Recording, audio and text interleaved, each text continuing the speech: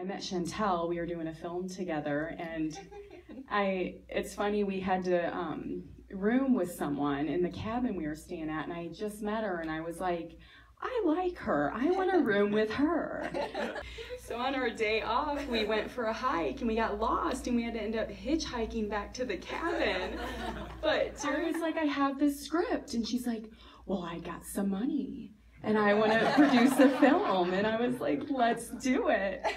So we came on as a team, and um, definitely some improvising. I, I don't know. I always feel like um, when you're making a movie as an actor, the script needs to breathe and stuff. I know some playwrights and some screenwriters are very it needs to be verbatim, but um, I don't know. I, I hope Jamie comes from this world as well because that's what we did was let the script breathe a little bit and let it give it room to improvise and, and make it your own because what's written on the page might not work work for that moment or for the edit. In fact. It's funny with locations that's when the script can change too because we had mm-hmm. originally had like a barn scene and but we didn't have a barn so Leisha and I had to work together with what can we do. Movies but I'm curious has that cabin been used in anything else?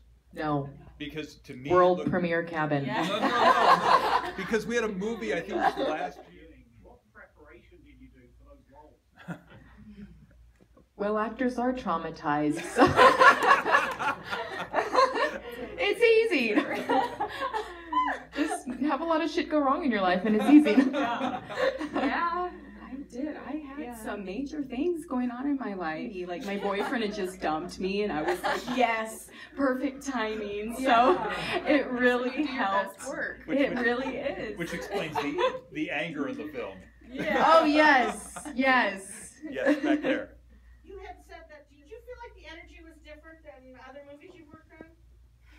I think so. It it had more of a feminine touch to it. You know, we we did have male on the crew and stuff, and our uh, DP was a male. Um, you know, you've got to have a little bit of a male flair in there too. otherwise, yeah, we don't hate men we don't or anything. Men. We love you. Like where the women were strong and they saved themselves. They're not waiting for a man to save them. It's not the typical Cinderella story, and where they didn't fit into any stereotypes and our director Leisha Closton, who I had worked with before, and she's fantastic. And she came on and she read the script and she had like some amazing ideas to make the script even better.